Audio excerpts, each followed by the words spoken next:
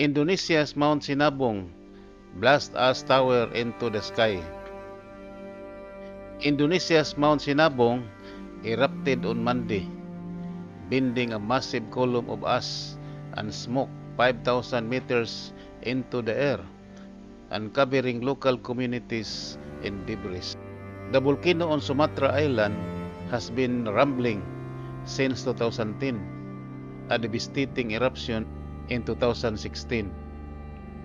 Activity has picked up in recent days, including a number of moderate eruptions on the weekend.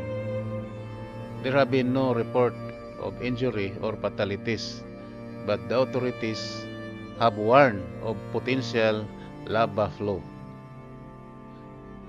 People living nearby are advised to be on alert for the potential appearance of lava the Indonesian Volcanology and Geological Hazard Mitigation Center reported in a statement.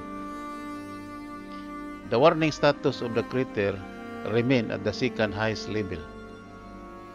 No one resides inside the previously declared on-go zone around volcano, but small towns nearby have been covered in a layer of dense ash since Monday eruption.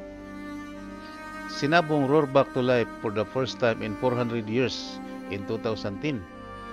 Following another period of inactivity, it erupted again in 2013 and has remained highly active since then. Seven people died in one of Sinabong, Sinabong eruption in 2016, while 16 died in 2014 eruption.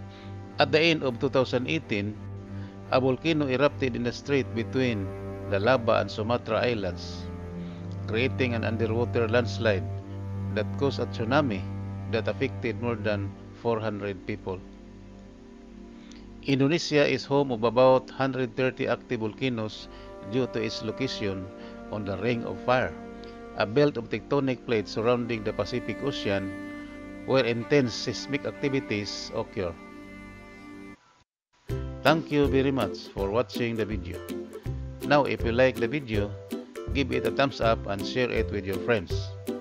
For more interesting videos, subscribe to our channel and hit the bell icon for instant notification. That way, you won't miss any videos from us. Also, don't forget to check out other videos on our channel. Be safe everyone.